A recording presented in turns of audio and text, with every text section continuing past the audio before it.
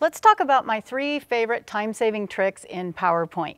The first is to pin your files. Anything that you're working on, when you go to the File tab, there is a thumbtack. Click the thumbtack and it pins your file there for the duration until you remove it.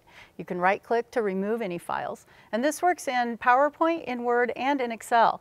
But I find it an easy, quick way to find the files that I'm working with consistently.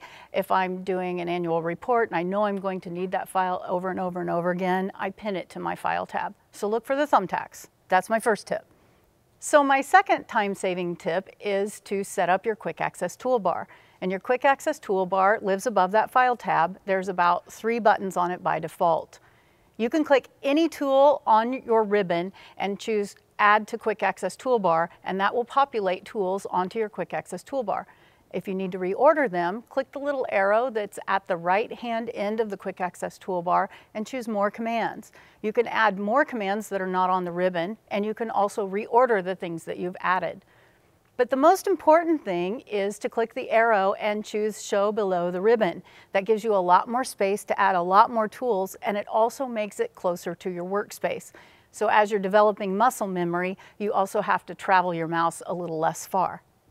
So that's my second time-saving tip. Use your quick access toolbar to use your frequently accessed tools and place them close to your workspace. So my third time-saving tip is to make sure that your template is built correctly.